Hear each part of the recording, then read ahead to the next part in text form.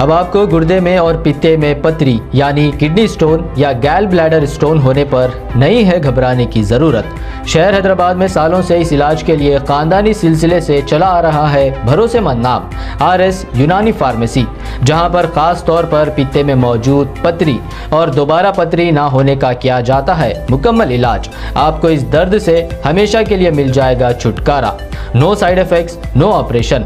तशखीश करते हुए दवाएँ की जाती है फराहम। तो देर ना करें, जल्द ही तशरीफ़ लाए। R S Unani pharmacy, Bahadurpura X road, opposite Canara bank, Hyderabad. मजीद तफसीलात के लिए रब्त करें।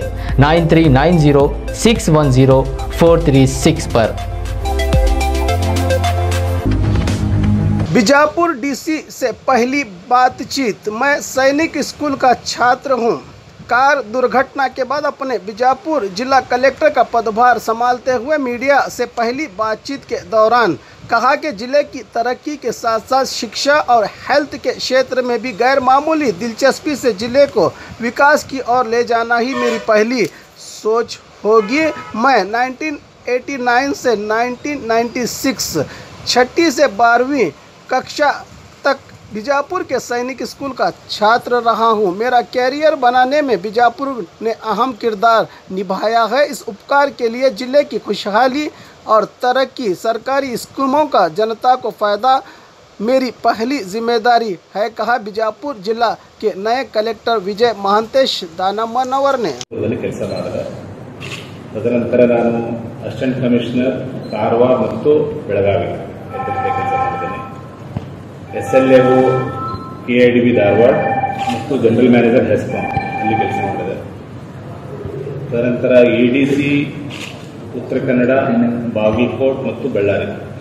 ಮೂರು ಕಡೆ ಕೆಲಸ ಮಾಡಿದ್ದಾರೆ ತದನಂತರ ನಾನು ಅಲ್ಲಿಂದ ಬೆಂಗಳೂರಿಗೆ ಉಪ ಕಾರ್ಯದರ್ಶಿ ರಾಜ್ಯ ಶಿಷ್ಟಾಚಾರ ಇಲಾಖೆ ಅಲ್ಲಿಗೆ ಹೋದೆ.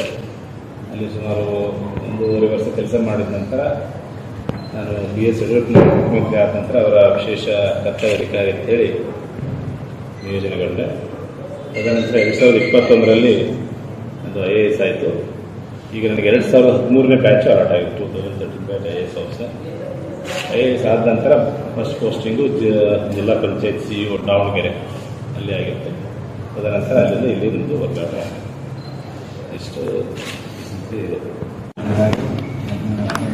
ಸೊ ಬೇಸಿಕಲಿ ನಾನು ಗದಗ ಜಿಲ್ಲೆನ ಆಗಿದ್ದರಿಂದ ನಾನು ಉತ್ತರ ಕನ್ನಡ ಕರ್ನಾಟಕ ಯಾವುದಾದ್ರು ಜಿಲ್ಲೆಯಲ್ಲಿ ಜಿಲ್ಲಾಧಿಕಾರಿ ಕೆಲಸ ಮಾಡಬೇಕಂತ ಅಂದ್ಕೊಂಡಿದ್ದೆ ಆ ಪ್ರಕಾರ ಸರ್ಕಾರ ಮತ್ತು ನಮಗೆ ಬಿಜಾಪುರ ಜಿಲ್ಲೆಗೇ ಜಿಲ್ಲಾಧಿಕಾರಿ ಅಂತ ಹೇಳಿ ನಿಯೋಜನೆ ಮಾಡಿತು.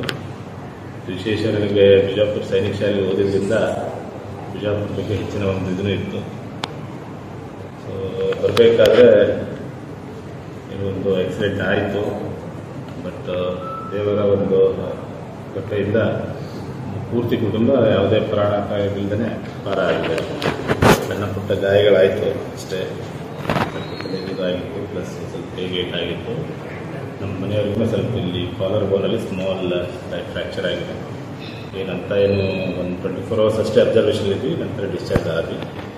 ಸೊ ಮೊನ್ನೆ ಆಕ್ಸಿಡೆಂಟು ನಿನ್ನೆ ಡಿಸ್ಚಾರ್ಜು ಇವತ್ತೇ ಡ್ಯೂಟಿ ಶಾರ್ಟ್ ಈಗಾಗಲೇ ನಾನು ಅಬ್ಸರ್ವ್ ಮಾಡಿದ್ದೇನೆ. ವಿಶೇಷವಾಗಿ ಎಲ್ಲಿ ಹೋದರೂ ನಾವು ಅಧಿಕಾರಿಗಳು ಅಭಿವೃದ್ಧಿ ಇದ್ದೇ ಇರ್ತದೆ. ಅಭಿವೃದ್ಧಿ ಜೊತೆಗೆ ಈ ಸಮಾಜ, ಸಾಮಾನ್ಯವಾಗಿ ನಾವು ಆರೋಗ್ಯ ಮತ್ತು ಶಿಕ್ಷಣ ಬಗ್ಗೆ ಒಂದು ವಿಶೇಷ ಕಾಳಜಿಯನ್ನು ಬಯಸ್ತೇವೆ ಯಾಕೆಂದರೆ ಆರೋಗ್ಯ ಮತ್ತು ಶಿಕ್ಷಣದಲ್ಲಿ ನಾವು ಇನ್ವೆಸ್ಟ್ ಮಾಡಿದರೆ, ಮುಂದಿನ ದಿನಗಳಲ್ಲಿ ಅದರದ್ದು ಬೆನಿಫಿಟ್ಸ್ ಜಾಸ್ತಿ ಇರ್ತದೆ. ಅಭಿವೃದ್ಧಿಯೂ ಸಹ ನಾವು ಏನು ಮೂಲಭೂತ ಸೌಕರ್ಯಗಳು ಅದ್ರ ಬಗ್ಗೆ ಸಹ ಒತ್ತು ಕೊಡ್ತೇವೆ ವಿಶೇಷವಾಗಿ ನಾವು ನೋಡಿದ್ರೆ ಇದೊಂದು ಐತಿಹಾಸಿಕ ಮತ್ತು ಸ್ಮಾರಕಗಳಿರುವಂಥ ಪ್ರದೇಶ. ಇಂದಿನ ಜಿಲ್ಲಾಧಿಕಾರಿಗಳು ಸಹ ಹೆರಿಟೇಜ್ ವಾಕೌಟನ್ನು ಮಾಡ್ತಾ ಇದ್ರು. ಮತ್ತು ವಿಶೇಷವಾಗಿ ಈ ಸ್ಮಾರಕಗಳ ಒಂದು ಏನೋ ಒಂದು ಬಗ್ಗೆ ಬಹಳ ಒಳ್ಳೆಯ ಕೆಲಸವನ್ನು ಮಾಡಿದ್ದಾರೆ. ಆ ಕೆಲಸ ಏನಂದರೆ ಅದನ್ನು ನಾವು ಮುಂದುವರ್ಸ್ಕೊಂಡು ಬರ್ತೇವೆ ಹಾಗೆಯೇ ಸರ್ಕಾರದ ಏನು ಯೋಜನೆಗಳಿದೆ ಆ ಯೋಜನೆಗಳನ್ನು ಈ ಸಮಾಜದ ಕಟ್ಟುಕಡೆಯ ಮನುಷ್ಯನಿಗೆ ತಲುಪಿಸಲಿಕ್ಕೆ ನಾವು ಪ್ರಾಮಾಣಿಕ ಒಂದು ಪ್ರಯತ್ನವನ್ನು ಮಾಡ್ತೇವೆ. ಲಾಂಚ್ ಆದ ಸಂದರ್ಭದಲ್ಲಿ ಅವರು ಹೇಳಿದ್ದು ಫೆಬ್ರವರಿ ತಿಂಗಳಲ್ಲಿ ಯಾವ ಜಿಲ್ಲೆಯಲ್ಲಿ ಅತಿ ಹೆಚ್ಚು ಅರ್ಜಿಗಳು ಸ್ವೀಕಾರ ಆಗ್ತದೆ ಡಿಸ್ಪೋಸ್ ಆಗ್ತದೆ, ಆ ಜಿಲ್ಲೆಗಳಿಗೆ ಒಂದು ಸನ್ಮಾನ ಮಾಡ್ತಾ ಇರ್ತೀವಿ. ಸೊ ದಾವಣಗೆರೆ ಮತ್ತು ಬಿಜಾಪುರ ಮತ್ತೆ it was neck to neck fight ಇತ್ತು. ಲಕ್ಕಿಲಿ ದಾವಣಗೆರೆ ನಾವು ಮುಂಚೆನೇ ಸ್ಟಾರ್ಟ್ ಮಾಡಿದ್ರಿಂದ ನಮ್ಮ ಅರ್ಜಿಗಳು ಬಹಳ ರಿಸೀವ್ ಆದ ಬಿಜಾಪುರಕ್ಕಿಂತ. ಬಟ್ ಬಿಜಾಪುರ ಸಹ ಬಹಳಷ್ಟು ನಮಗೆ ಕಾಂಪಿಟೇಷನ್ ಕೊಡ್ತಾ ಇತ್ತು. ಸೊ ಹೀಗಾಗಿ ಇಂದು ಏನು ಜಿಲ್ಲಾಧಿಕಾರಿಗಳು ಮತ್ತು ಇಲ್ಲಿನ ಆಡಳಿತ ಏನು ಕೆಲಸ ಮಾಡಿದ್ದಾರೆ, ಎಲ್ಲ ಕೆಲಸಗಳನ್ನು ಪ್ರಾಮಾಣಿಕ ಮುಂದುವರಿಸೋದಲ್ಲ ಇನ್ನೂ ಒಂದು ಹೆಚ್ಚಿನ ವೇಗವನ್ನು ಕೊಡಲಿಕ್ಕೆ ನಾನು ಪ್ರಾಮಾಣಿಕವಾಗಿ ಪ್ರಯತ್ನ ಮಾಡ್ತೇನೆ. ಈ ನೇಮಕಾತಿ ಸಂಬಂಧಪಟ್ಟದ್ದು ಏನಿದೆ ಎಲ್ಲ ಕೆಲವೊಂದು ನಮ್ಮ ಹಂತದಲ್ಲಿ ಇರ್ತದೆ ಬಟ್ ಏನೇ ನೇಮಕಾತಿ ಮಾಡಬೇಕಾದ್ರೂ ಸರ್ಕಾರದ ಒಂದು ಆದೇಶದಲ್ಲಿ ನಾವು ಮಾಡಬೇಕಾಗ್ತದೆ.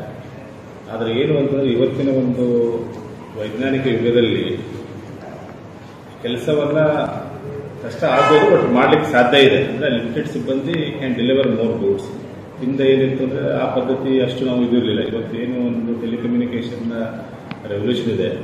ಇದರಲ್ಲಿ ನಾವು ಕೆಲಸ ಮಾಡ್ಲಿಕ್ಕೆ ಸಾಧ್ಯ ಇದೆ. ಏನಪ್ಪ ಹೆಚ್ಚಿನ ಎಫರ್ಟ್ಸ್ ಮಾಡಬೇಕು, ಹೆಚ್ಚಿನ ಒಂದು ಕಾಳಜಿ ವಹಿಸಬೇಕು ಅಷ್ಟೇ. ಬಟ್ ಹಂತ ಹಂತವಾಗಿ ನಾವು ಸರ್ಕಾರಕ್ಕೆ ಬರೋದು ಎಲ್ಲಿ ಅತಿ ಅವಶ್ಯಕ ಇದೆ ಅಂತಲ್ಲಿ ನಾವು ಸಿಬ್ಬಂದಿಗಳನ್ನು ನೇಮಕಾತಿ ಮಾಡಲಿಕ್ಕೆ ಅನುಮತಿನ ತಗೋತೇವೆ ಬಟ್ ಈಗಾಗಲೇ ಸರ್ಕಾರದ ಆದೇಶ ಇದೆ. ಇಲ್ಲಿ ಕೆಲವೊಂದು ಕಡೆ ವಿಶೇಷವಾಗಿ ಸಿ ಮತ್ತು ಡಿ ಖಾಲಿ ಇರ್ತದೆ. ಈಗಾಗಲೇ ಔಟ್ಸೋರ್ಸ್ ಮೇಲೆ ಹೊರಗುತ್ತಿಗೆ ಆಧಾರ ಮೇಲೆ ತಗೊಳ್ಳಿಕ್ಕೆ ಅವಕಾಶ ಇರ್ತದೆ.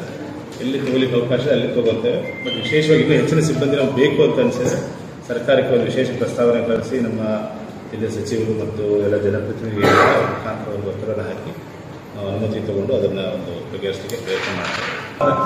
ಬರಬೇಕು ಅದರಿಂದ ಹಾಗೆ ನಾವು ಮಾಡ್ಬೋದು. ಅಷ್ಟೊಂದು ಜವಾಬ್ದಾರಿ ನಾವು ತಗೋತೀವಿ. ಪ್ರತಿಯೊಂದು ನಾವು ಗ್ರೂಪಲ್ಲಿ ನಮಗೇನು ಮೀಡಿಯಾ ಬೇಕಂತ ಅಂತ ಆದೇಶ